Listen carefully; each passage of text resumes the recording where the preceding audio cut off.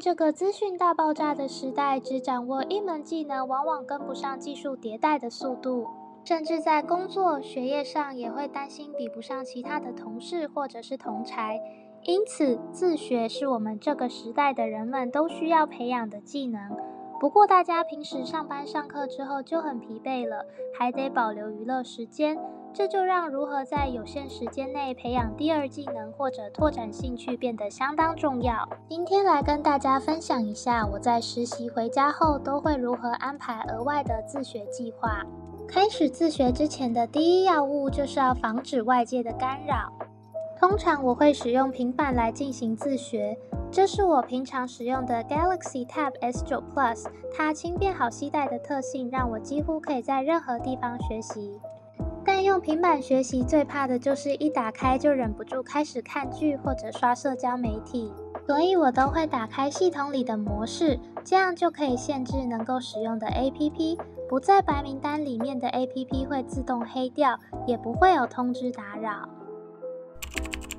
开始寻找课程或者是规划课程进度之前，我们要先搞清楚自学的目的是什么。了解了这个核心的理念之后呢，我们再去思考具体应该要做什么，以及应该要怎么做。这样子不但可以避免努力错方向，事后也比较不容易半途而废。我通常会使用 Samsung Notes 来厘清我的思绪。我个人最喜欢使用里面的方格纸。不过它还有很多种其他模板可以选择。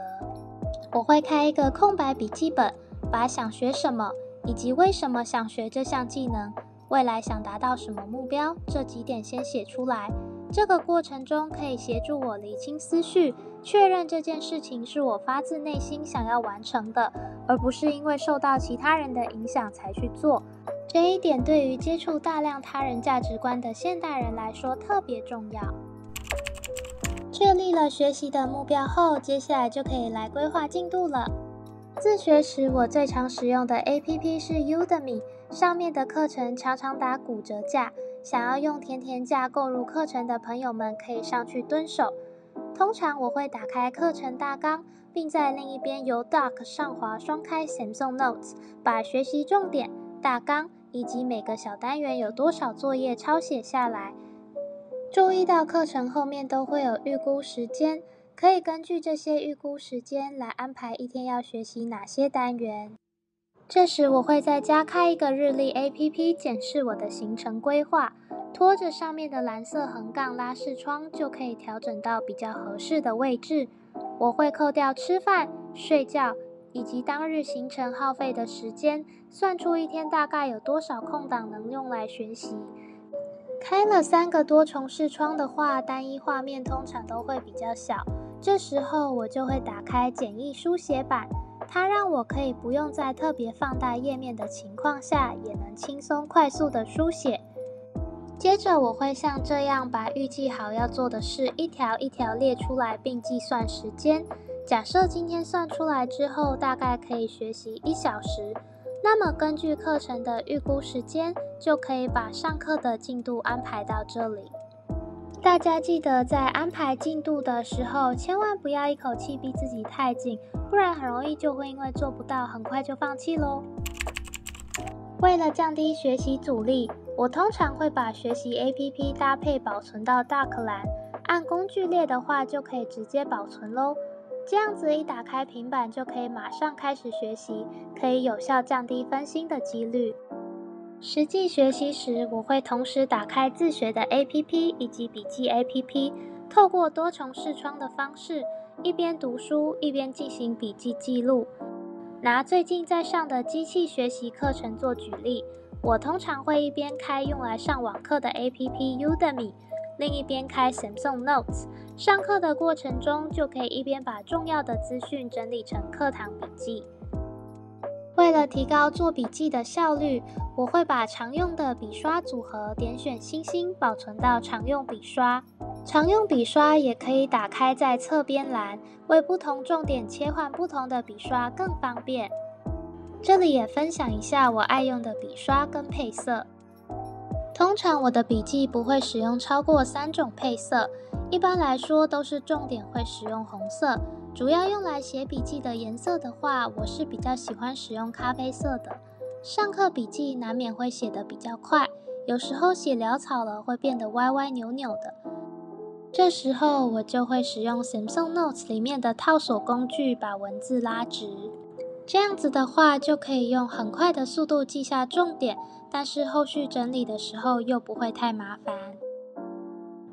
有时候看不懂专有名词，直接用平板的搜寻圈功能把它圈起来，就可以查到定义了。课堂上如果出现我没看过的老师，也可以直接搭配 S Pen，使用即圈即搜就可以找到他是谁，省到用浏览器查询的时间，超方便。除了上课笔记外，不免需要记录一些专有名词的定义，这时我会加开一个浏览器的视窗，反白需要的文字。并且把这一段选取起来的文字拖拽到笔记里，超级快速方便。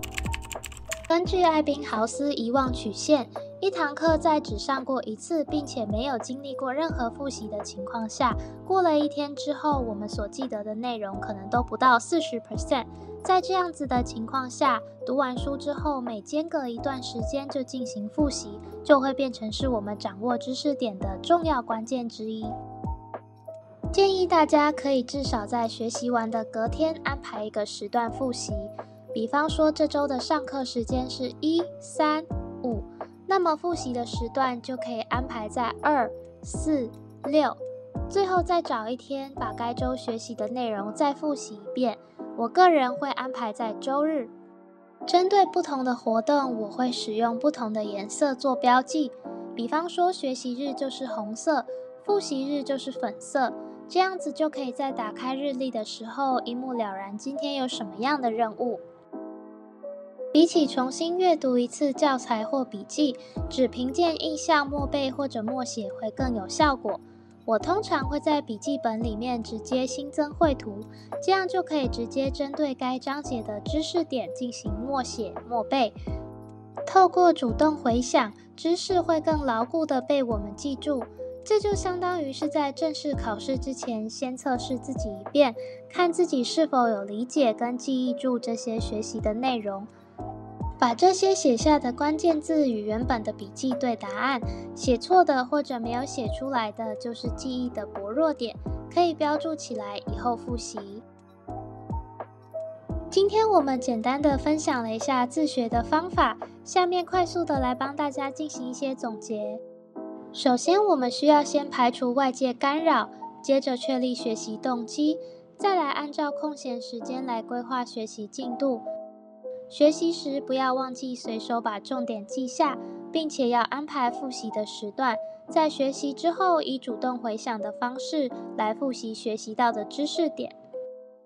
看完这次的影片之后，大家也可以考虑跟我一样，准备一台 Galaxy Tab S9 Plus 来帮助学习哦。这次我也有制作方便大家规划课程进度跟写课程笔记的模板。看完影片之后，可以到我的 IG 精选线动去下载。那希望这次的影片对大家有帮助，下次见喽，拜拜。